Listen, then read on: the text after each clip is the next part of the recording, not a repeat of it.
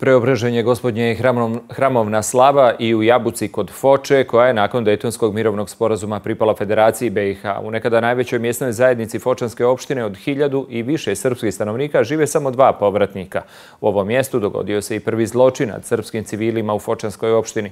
Zločin koji su počinili pripadnici takozvane armije BiH još nekažnjen, a sjećanja na nevine žrtve žive. Hram preobraženja gospodnjeg u Fočanskoj jabuci miniran je i do temelja porušen prije 31 godinu. Od obnove 2005. godine na hramovnu slavu okuplja raseljene i prognane. Snagu sabornosti dokazali su i kumovi slave iz Istoča Iliđe i Foče.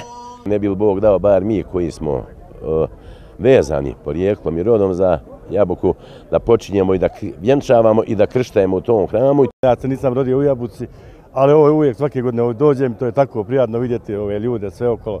Iz Jabuke poruka ostajemo privrženi korijenima, vjeri i tradiciji.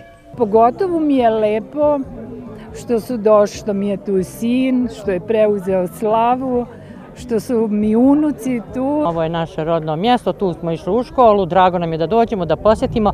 Tu mi je od srica sin pogina. Vidite, dovodim svoju djecu od osam mjeseci kad su imali i bilo bi dobro da svi radimo. I dobro je malo prekom rekao da počnu i krštenja i venčanja ovdje. Jabuka je simbol srpskog stradanja. U jednom danu spaljano je 18 sela, na kućnom pragu svirepo je poubijano 43 civila. Molitveno sjećanje i na poginule borce.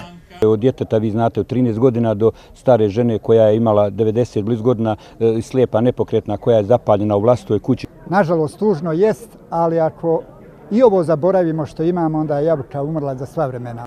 U molitvenom hodu i 140 ruža dar načelnika opštine Foča za sve stradale. Brojne delegacije su na spomenik položile cvijeće i prislužile svijeće. U porti je posađeno i 31. drvo, svake godine po jedno da podsjeća na nevine žrtve.